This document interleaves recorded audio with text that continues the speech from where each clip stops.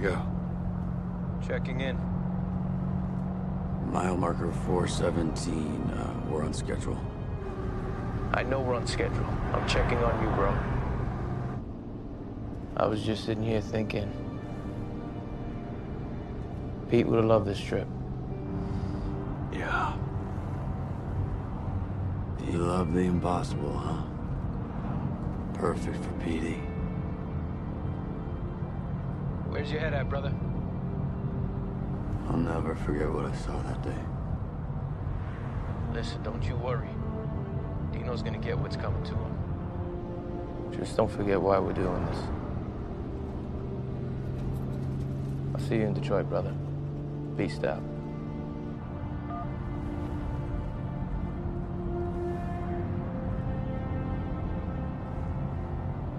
I'm sorry about Pete.